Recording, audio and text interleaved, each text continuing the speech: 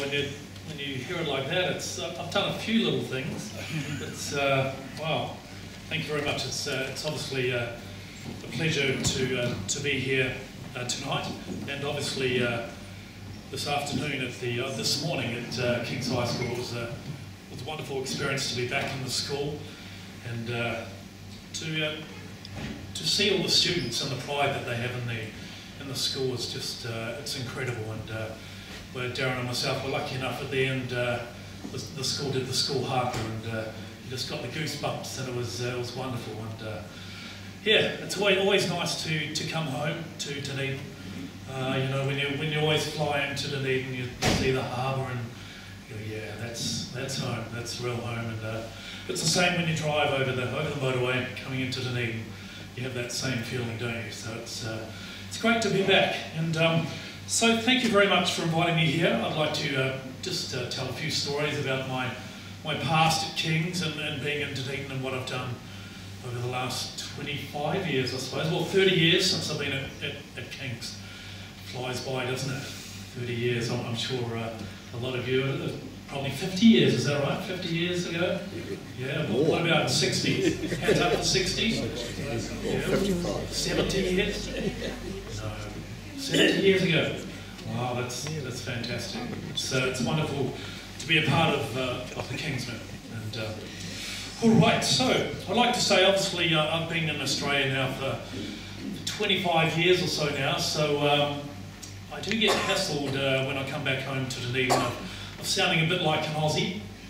And uh, when I'm back uh, in Australia, I get uh, hassled for sounding like a Kiwi. So, uh, so I can't really win wherever I go. But uh, I'm a very proud uh, Highlander supporter. And you know, a couple of years ago when they when they won, I was just uh, I was letting everyone know about it in, in Australia. And um, obviously, I, I still support uh, the All Blacks, and even if uh, New Zealand were playing Tiddlywinks, I think I'd support New Zealand. So uh, it's great. I, must say, when I was doing Les Mis uh, in Australia, it was about the uh, 98, 99.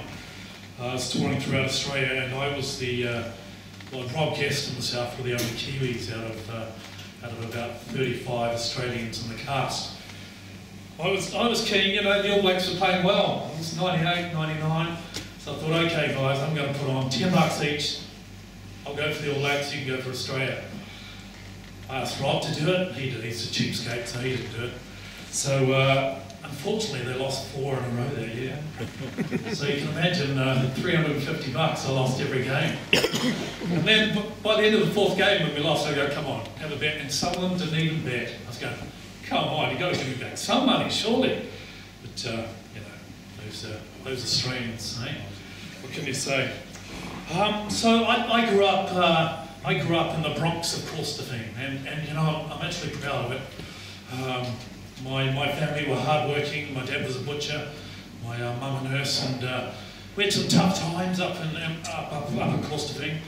I remember doing the uh, milk run, the old milk run, and uh, coming home after after after the milk run and walking into a few uh, less notable people living in the uh, in the Corstorphine, and they say, "Well, if you want through this laneway, what are you going to give me?" So uh, I'd have to give them my 20 cents hot chips and my uh, K-bars and stuff like that. 20 cents hot chips, wasn't that great? Do you remember those days? Um, ladies and gentlemen, um, I went to uh, Macandrew Intermediate and uh, we always watched the, uh, the inter-schools from across the fence. We watched the whole school lining up and doing the haka. What a sight that was, and uh, oh, it's your suitcase. There we go. I'm going to blow up. There we go. It took you a while to to, uh, to see that there.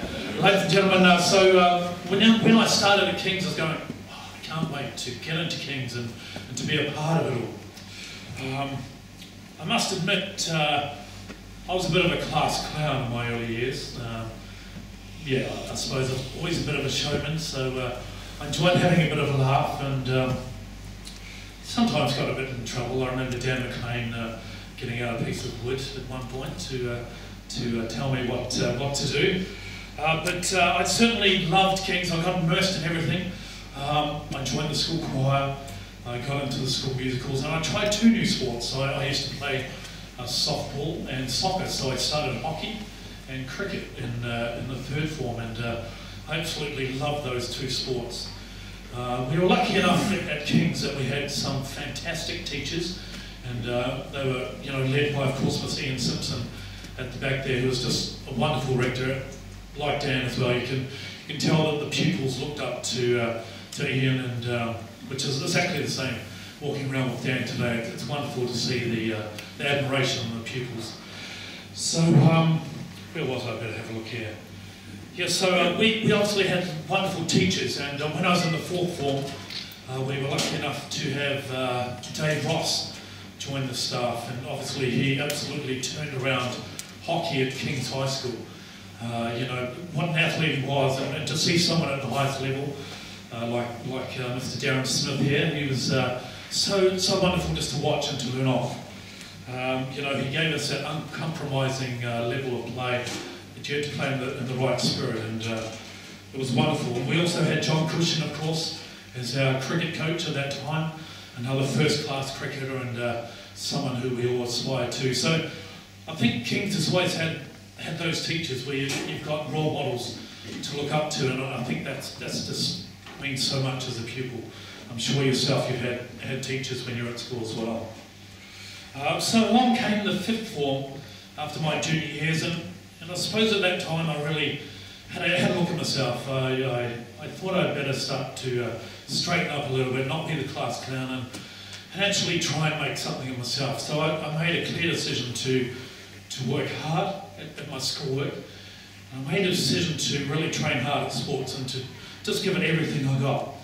Uh, before I knew it, I, I, I, made the first 11 of, of the cricket and, uh, and the hockey teams, and then went on to the to the Otago teams. And it kind of proved to me that when you really dedicate your time and, and really focus on something, it's very achievable. You know, I was I was not a star player like uh, Darren Smith here was the superstar player. I, was, I was a bit of a toiler, a bit of a hard worker, and uh, but I was a hard nut to get past, you know, in the defence, or I was a hard person to get away at, the bowling crease. Um, I suppose uh, during that time also I, I got heavily involved in, in the musical side of things the, uh, the performing arts. Obviously, uh, as a, uh, at a boys' school, um, singing is not really looked upon as a, as a great thing to do. Uh, I think that's changing. I hope it's changing. Um, I suppose I was lucky that I was pretty good at sport, so uh, you know no one was going to hassle me for uh, singing up on the stage. Um, yeah, I, I, suppose getting into school musicals, I, have got to admit, I really wanted to uh, start school musical so I could get along to the girls' school next door. Uh, I've got to be honest, you know, uh, there were about 100 people in the, uh, the school musical, 80 girls and about 20 guys, so you do the math on that. It worked out pretty well. Um, I, truly believe that you make your own luck, and uh, at King's High School, you were given every opportunity to succeed, and, and I can see that's even more prevalent right now. Um, three years after after leaving school, I suppose I had to I had to make the decision uh, whether I wanted to pursue playing sport, you know, trying the, the long odds of getting in, in those rep teams or or going down the performing arts path. And, and I think in my heart I really enjoyed performing on stage. I was not too bad at it. I could sing a few tunes. And, uh, and I just I just loved the, the thrill, the buzz of being on stage and performing. Um, so three years after I, I left school, I, I, left Dunedin and went over to Brisbane to, uh, to study at the Conservatorium of Music. Uh, that was a big move for me. I, I knew no one in Brisbane, so I went over there uh, by myself. Uh, I was over there for about six months by myself before my, my girlfriend joined me, and we're, we're still happily married, which is, which is great, 26 years on. Um, I acknowledge, I suppose, that uh, in the arts you, you really get to represent your country. So for me, uh, performing national anthems was a huge, a huge buzz for me. Uh, I've been lucky enough, um, as Doug said, to perform it about 12 times all around the world, and uh, some have been uh, amazing opportunities. You know, when you're standing in front of, of 50,000 or 80,000 people in a stadium, uh, I'm sure Darren's experienced that when the anthems are being played. It's, uh, you know, it really gets the heart. And if, if you have to sing the anthem, there's a bit more pressure you can imagine uh, what's going on through your mind as you're, as you're standing there waiting for the, uh, the music to start. And I remember on one occasion, it was only about uh, four or five years ago at Suncorp Stadium, so there was about 52,000 people there. Was the uh, Australia versus South Africa uh, rugby match, so I was performing the Australian anthem. So uh, the music started, I was standing there, both teams either side. I was going, okay, here we go. And then the camera comes right up to about this, this close. TV camera, I go, Ooh, I wasn't expecting that. Okay. And then the music started. It's going, right, here we go. As it was started, I went, oh shit, I can't remember the first line. Going, no, no this, this isn't happening. So inside, I was, I was shitting bricks. Outside, I was looking nice and calm, going, I'm ready to sing this, but I, I don't know the first line. So uh, at, the, at the moment when I had to sing, it just came to me, thankfully. Um, that would have been very embarrassing. You know, if you stuff up the anthem, that's, that's a bit like uh, dropping a sitter in cricket or uh, diving over the try line and you just drop the ball. So uh, certainly uh, I, was, I was pretty happy that that didn't happen. Um, my journey as a performer certainly, uh, you know, hasn't been an easy road. As you can imagine, as an as a artist, performer, you have some, some good years and you have some bad years. Financially, it's always always a bit of a roller coaster. So, uh, you know, it's, it's been hard, but, but all the time I've, I've been pretty lucky that, uh, that I've had some wonderful experiences and I've travelled the world doing what I love. And I love what I do and I have a great, a great passion for it. So, so I'm really, truly lucky, you know. Um, I'm very lucky in that regard. Um, so I suppose that brings me to my to my take on life and, and how I've how I've lived my life pretty much from the fifth form at King's High School. I think uh, you know whether you're turning up for work or whether you're performing in a play, you're in a sporting team or you, or you turn up for, for work every day, you have to have a passion for what you're doing. Um, if you don't have that passion, then I, then I think you've got to really wonder what you're doing. Uh, I'm pretty lucky that I've been able to do that, and, and I'm still still performing even now, and uh, hopefully I'll do that for the next 20, 25 years if I can.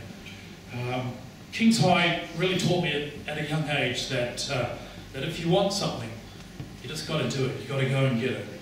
Um, you do all those extra training sessions. You you work on your techniques, and uh, you know you leave nothing in the tank. Uh, I'm sure that most of our successful icons throughout the world, whether it be sports or the arts or business, have one, one common theme, and it's pretty much, it's not how hard you get hit, but uh, how hard you get hit, and then keep moving forward. And uh, I really like that, that phrase. It's, you just got to keep on getting up when things get down, and you've just got to do the, do the hard work. And I think that's when you really succeed.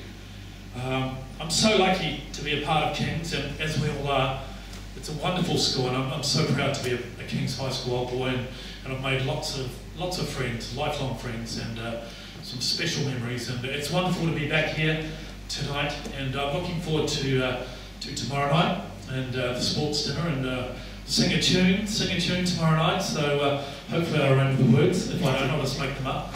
And uh, you know, thank you so much for inviting me here tonight, and it's it's been a pleasure. Thank you.